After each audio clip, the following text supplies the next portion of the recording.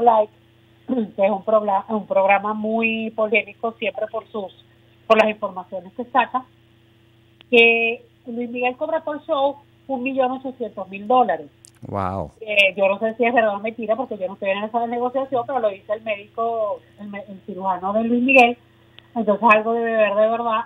Aparte de eso, en Venezuela había disputa de varias productoras por traerlo, no solamente la, la, finalmente lo logró show, pero había varias compañías tratando de traerlo, me imagino que eso también pudo encarecer el precio del caché de lo que él cobre, sea un millón ochocientos o no, y bueno, todo eso se traduce, por supuesto, en aumentos de costo. Además, hemos visto los videos de lo que es el montaje y es un montaje que para nada es barato, para nada, porque es un montaje espectacular. Va a ser en el estadio, ciertamente de la Rinconada, que tiene una capacidad mucho más grande que el Poliedro que cualquier otro escenario en Venezuela, porque recuerdo que cuando hicieron la serie del Caribe allí dijeron que eran como 30 mil personas, ¿no? Ok, ok. Pero el montaje, como, como te estoy comentando, es muy costoso. Además, en, otro, en, la misma Argentina las entradas costaron 150 dólares. Exactamente. Las más baratas. Entonces, quiere decir que si está por allí, estaría en el orden de lo que cuestan internacionalmente. Pero básicamente es por eso, porque es un espectáculo muy costoso, no solamente por lo que implica el caché del artista, sino por todo lo demás, ¿no? Sí, bueno, la verdad, y es eso, es lo que, mm, lo que tiene también que Venezuela esté dentro de estas giras mundiales, ¿no? Eh, eh, eh, este Luis Miguel va a estar haciendo paradas, ya vieron la cantidad de fechas que anunció para el 2024, aquí va a ser el 12 de febrero, y es eso, va a estrenarse, digamos, de manera musical el, este estadio monumental que pudiese convertirse en un recinto importante para conciertos el año que viene, ¿cierto, Carmela? Claro, lo que pasa es que con la figura de Luis Miguel había mucho escepticismo porque tiene más de un año anunciándose. De hecho, la primera vez que se anunció, que lo hizo mi, nuestro colega Simón Villamizar, querido colega, lo hizo a finales del año 2021 o eh, diciendo que venía en el primer trimestre de 2022. Exacto. va, a terminar llegando él en el primer trimestre de 2023, como de 2024, perdón, como dijo en varias oportunidades Omar Enrique, lo que pasa con Omar Enrique eh, que es amiguito mío, yo lo quiero mucho, pero él también ha dicho muchas cosas que al final se dieron como que Arjona iba a estar en julio estrenando el Monumental y eso no, no sucedió.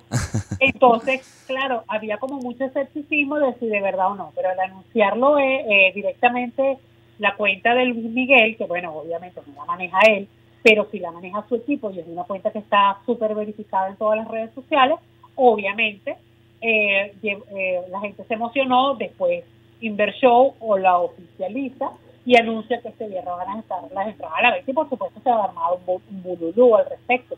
Porque además Miguel tiene más de 10 años que no viene a Venezuela. Eso te quería preguntar, Carmela. Bueno, obviamente Luis Miguel es un furor, un ídolo latinoamericano, tiene mucho tiempo sin venir a Venezuela. Eh, y bueno, obviamente Venezuela, que ha pasado por tantas etapas, este, bueno, esto vamos a ver cómo se va a comportar el, eh, eh, la venta de las entradas. Pero digamos, estudiando un poquito el, el track record de Luis Miguel en sus presentaciones en Venezuela, siempre le ha ido bien, ¿no? Ha sido un artista que ha vendido muy bien cada vez que se presenta en nuestro país. Claro, él, en, los años finales de los 80 y la década de los 90 venía muy, muy seguido. Entonces, no solamente se presentaba, sobre todo en los 90, en los, en los 80 y 90 había como una costumbre de presentar al artista, digamos, en un recinto grande, tipo Teresa Carreño en aquel momento, varias funciones, o el Poliedro de Caracas, y después presentarlo en algo más pequeño, más exclusivo, en el Hotel Caracas Hilton, que era normalmente en aquel momento donde llegaban todos, digo todos, por lo menos el 95% de los artistas. Entonces, era costumbre hacer ese tipo de doble de doble función, ¿no? Exacto. Y a él siempre le iba bien, él siempre le iba. Entonces, él se ha presentado aquí eh, el único escenario donde él no se presentó, porque ya no era un artista para eso, era en el, fue en, en, la terraza del CCT cuando se abrió ese espacio para los espectáculos. Claro. Pero cantó en temporada en el Teresa Carreño, cantó, como te acabo de decir, en el Hotel Caracas Hilton, estuvo en el Poliedro, estuvo incluso donde está ahorita el Monumental, que en aquellos años se llamaba Poliedrito. Ajá. fue de los, de los artistas, de los pocos artistas que se logró presentar allí. Incluso estuvo en el estadio universitario cuando lo cuando se utilizaba también en aquellos años para hacer espectáculos, porque siempre ha sido un artista que ha convocado mucho, mucho público, ¿no? Tal cual, y bueno, y después de todo lo que ha pasado con su serie, con su vida amorosa y todo, el interés obviamente está más vivo que nunca.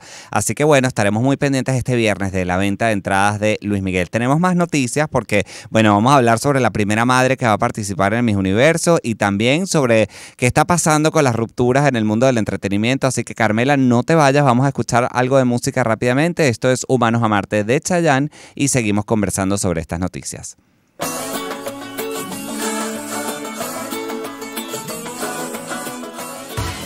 Sonidos que te llenan de alegría. En todo el país. Circuito Onda.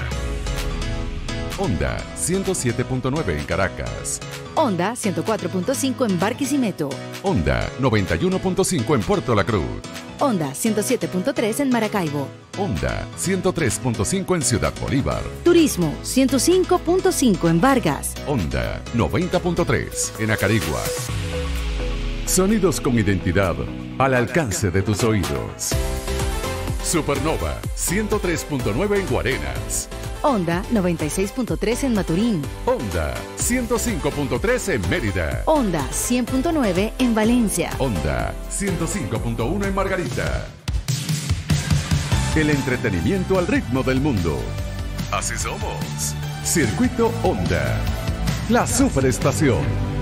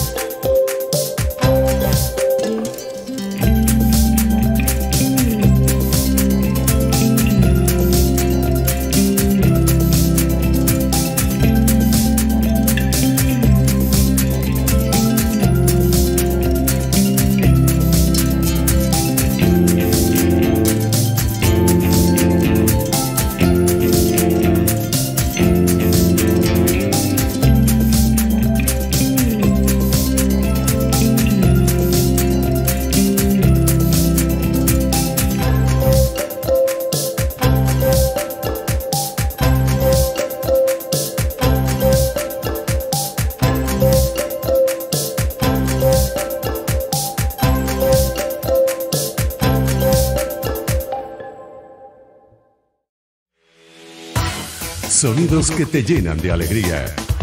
En todo el país. Circuito Onda. Onda 107.9 en Caracas. Onda 104.5 en Barquisimeto.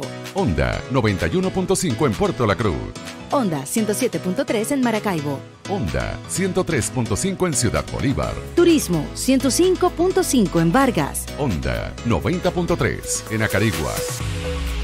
Sonidos con identidad al alcance de tus oídos. Supernova 103.9 en Guarenas. Onda 96.3 en Maturín. Onda 105.3 en Mérida. Onda 100.9 en Valencia. Onda 105.1 en Margarita. El entretenimiento al ritmo del mundo. seguimos conversando con Carmela Longo sobre las últimas noticias del mundo del entretenimiento. Y bueno, eh, un formato que ha tenido que reinventarse, adaptarse a los tiempos, a la inclusión, a la diversidad de hoy en día, son los certámenes de belleza. Y ahora recibimos esta noticia, Carmela, que bueno, el Miss Universo, bueno, esta noticia ya la sabíamos de antes, pero ya está confirmado que vamos a tener la primera eh, participante que es madre y que va a competir en esta edición del Miss Universo, ¿no? Sí, eso es lo que te iba a decir. Ya la organización había dado a conocer las nuevas bases pero no se había concretado, ningún país había concretado eh, enviar una, digamos, una representante no tradicional. Cuando digo no tradicional me refiero a lo que había sido la tendencia o las normas en los años anteriores. Y Guatemala eligió el domingo a la primera Miss, no sabemos si va a haber otra, pero por lo menos a la primera representante del, que va a estar en el Miss Universo en noviembre próximo en San Salvador, que es madre.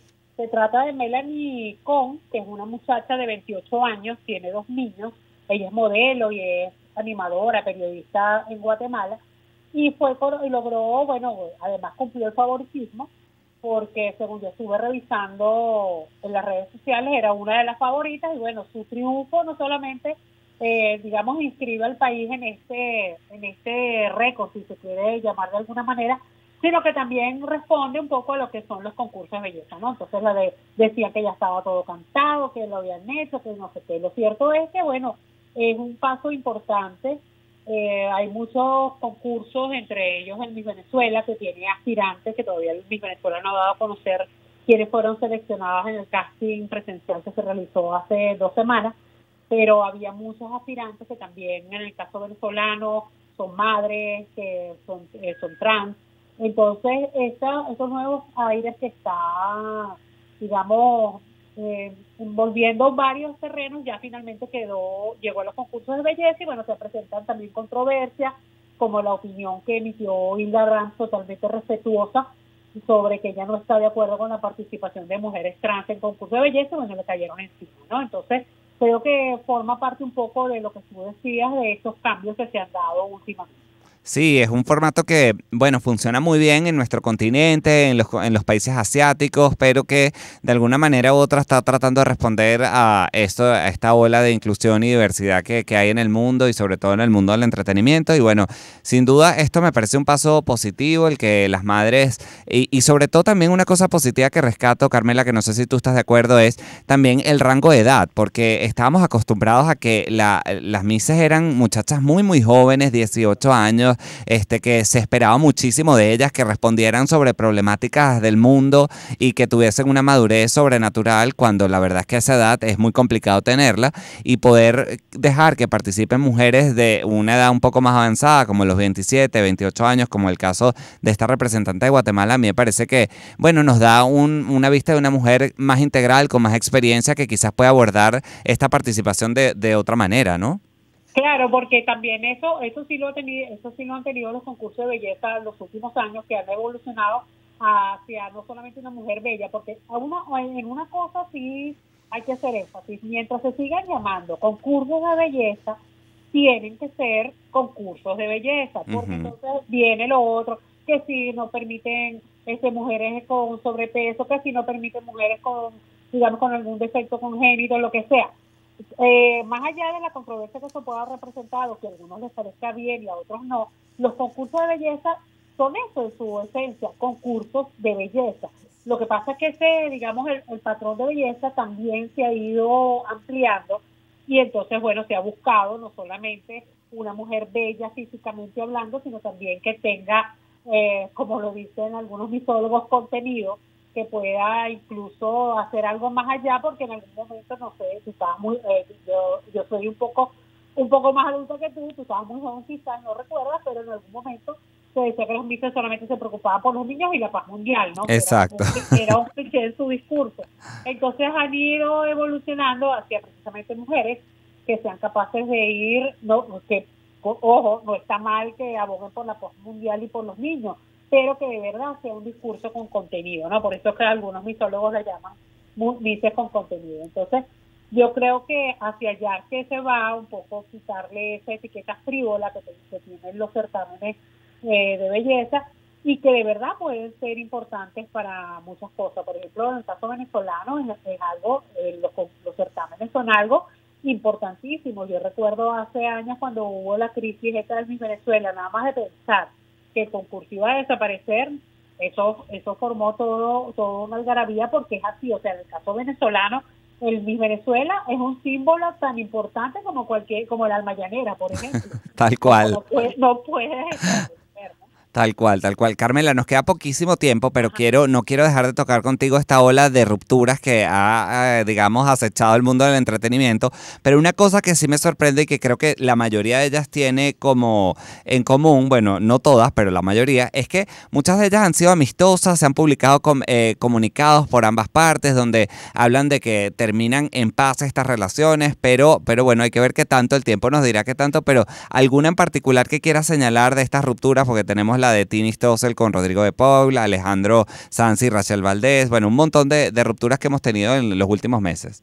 Claro, la más reciente que se reveló es la de Natalie Portman, eh, porque, bueno, supuestamente su esposo le habría sido Benjamin Gilipet, no sé cómo se pronuncia porque es francés, pero en todo caso él le habría sido infiel. De hecho, hace una semana se había dicho esto porque una revista francesa había reportado que él tendría, supuestamente, eh, tendría una relación extramarital con una activista eh, eh, del ambiente en Francia, pero eso nunca se confirmó, digamos, oficialmente. Sin embargo, en su momento, fuentes, como siempre sucede con este tipo de cosas, nunca aparece nadie con nombre y apellido, sino fuentes cercanas a la pareja, dijeron a varios medios que efectivamente eso había sido un desliz, que no era que no había sido nada, digamos, duradero, como por ejemplo el de Piqué con Clara Chía, por nombrar el más mediático, y entonces, bueno, que habían decidido intentarlo, pero parece que en el intento fracasaron porque ya esta semana se,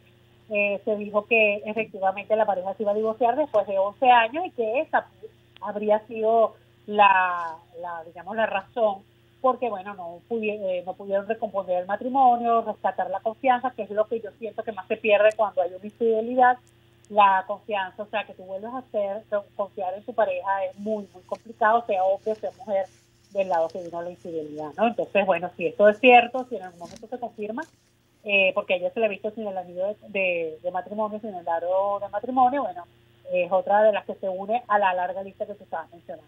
Totalmente, bueno, estamos en temporada de rupturas, hay temporadas de bebés, de matrimonios y ahora estamos en temporada de rupturas que esperemos que, bueno, que, que no siga acechando a estas parejas de Hollywood y de la, del mundo del entretenimiento. Carmela, de verdad, un millón de gracias por acompañarnos y ponernos al día en todos estos temas. Un gusto siempre conversar contigo, Jorge. Igualmente, Carmela Longo nos acompañaba.